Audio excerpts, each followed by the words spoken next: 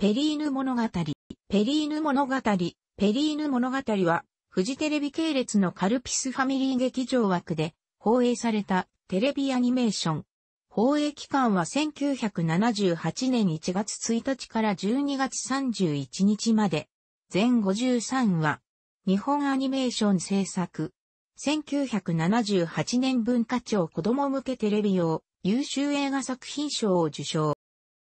原作はフランス人作家、エクトール・アンリ・マロのアンファミーユ、エンファミーユ。放題は、家なき娘、家なき子、家なき娘、または、家なき少女、家なき使用女。後に放送された、家なき子レミとタイになる物語で、家なき娘ペリーヌと称されることもある。マロ原作のアニメは3ヶ月前に日本テレビで、家なき子、東京ムービー新書制作が放送されており、実質的にマロの2大作品がアニメ化されたことになる。ただし、原作クレジットがエクトルマロのため、この作品に使用された定本となる日本語訳は確定していない。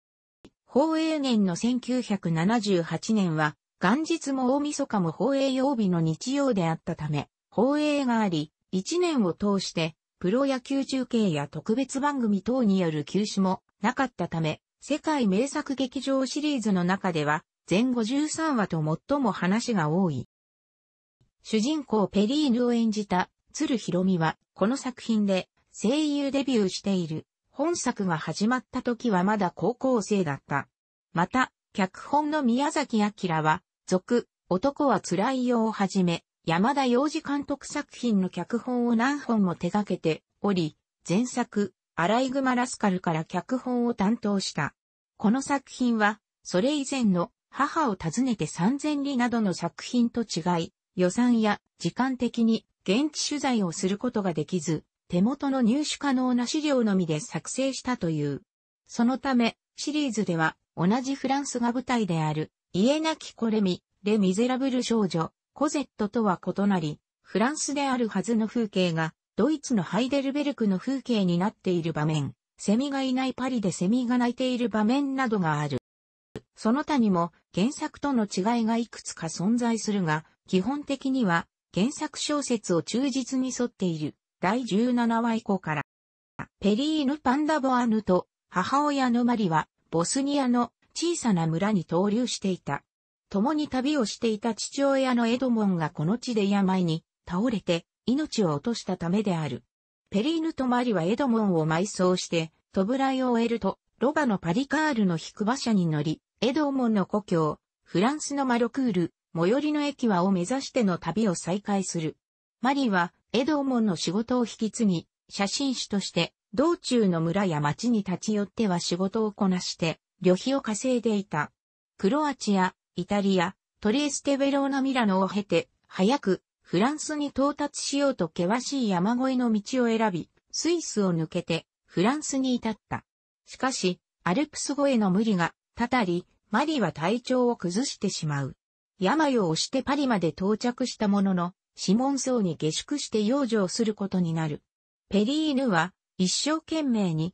マリを看病し、医者を予備薬を与えるが、容体は良くならない。次第に所持金がなくなっていき、馬車や写真道具、そしてパリカールまでも人手に渡してしまう。この状況を知ったマリは1日も早くマロクールに到着しなければならないと考え、無理を押して旅立つことを決意する。しかし、マリーは旅立ちの朝に倒れ、ペリーヌに人から愛されるには、まず人を愛しなさいという言葉を残して息を引き取る。マリの葬儀を終えたペリーヌは、親切にしてくれたシモン層の人々に見送られ、一人でマロクールへの旅を再開する。暑い夏の日差しの下、徒歩での旅を続けるペリーヌであったが、疲労と病気と、でついに倒れてしまう。あわやというところでペリーヌを救ったのは、懐かしいとも、パリカールであった。パリカールの今の持ち主である、古物商のルクリは、ペリーヌの旅に同行して助けてくれる。アミアンを経て、残りの道のりが一本道になると、ルクリに別れを告げたペリーヌは一人でマロクールに向かう。村の入り口で食堂の娘、ロザリーと知り合いになる。ロザリーは道中に見えた立派な屋敷が当地で大工場を経営するビル・フラン・パンダボアヌのものであること、そしてビル・フランが自分の言いつけに逆らって家を出て行った息子、エドーモンを許していないかもしれないということを教えてくれる。その時、屋敷から厳しい顔つきをした老紳士が馬車に乗って出かけるのを目撃する。ペリーヌはこの人物が祖父であることを悟ると同時に、母が今和の際に残したおじい様はあなたを歓迎しいかもしれないという言葉が脳裏に蘇った。結局、ペリーヌは祖父との対面を避けて、オーレリーという偽名を使い、マロクールに滞在して様子を見ることにする。ロザリーの紹介で、パンダボアヌ工場のトロッコ押しとして働き始める。工場の給料は十分なものではなかったが、村外れにある池のほとりの空き小屋に住むことで家賃を浮かせたり、食器や服や靴などを自作するなどの工夫をして暮らす。やがて、ペリーヌに転機が訪れる。サンピポア工場では、イギリス人の技師との意思疎通がうまくいかず、機械の設置が滞るというトラブルが発生していた。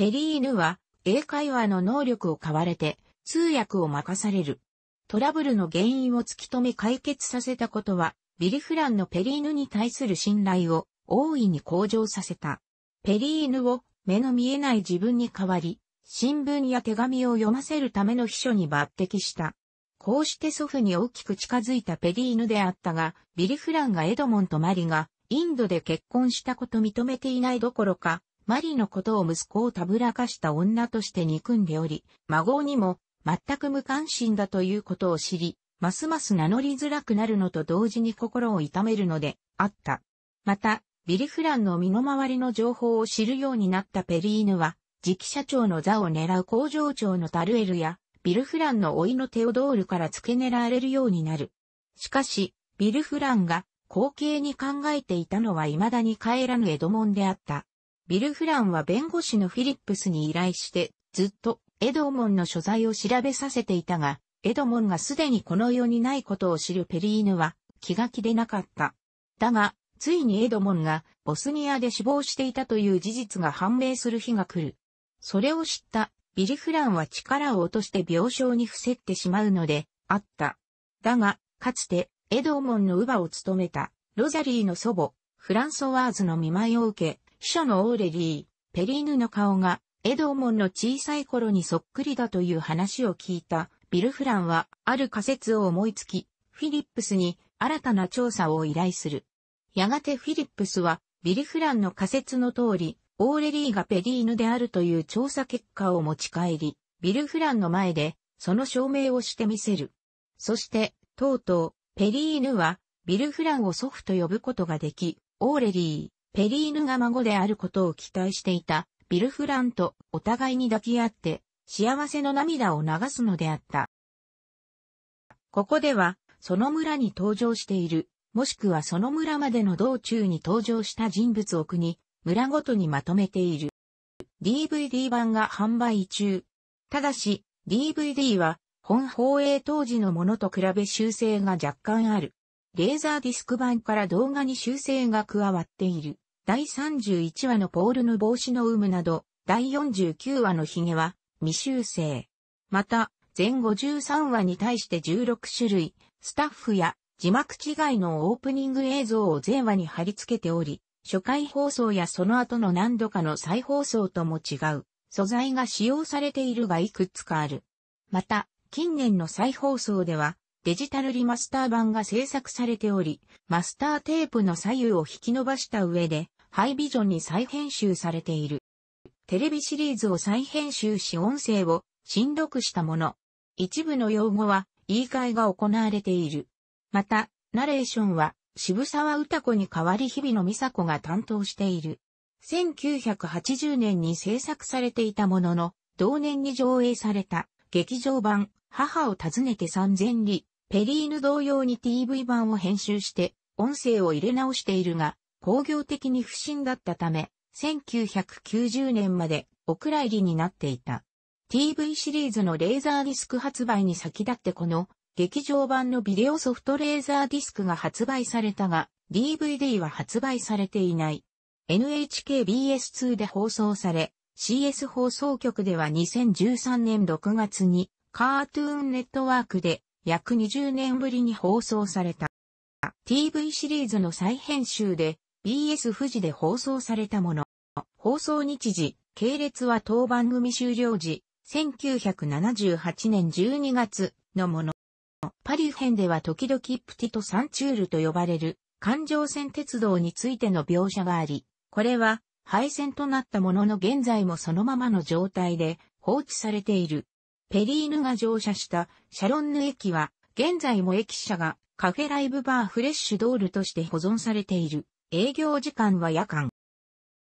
ペリーヌ物語ではボスニアからフランスまで旅をしているのに旅券、パスポートを所持している描写はない。身分を証明するものはマリーが持っている結婚証明書だけのようである。これは旅券のことを無視しているわけではなく、この物語の時代、1870年代にはまだ旅券の制度がなかったためである。楽しくご覧になりましたら、購読と良いです。クリックしてください。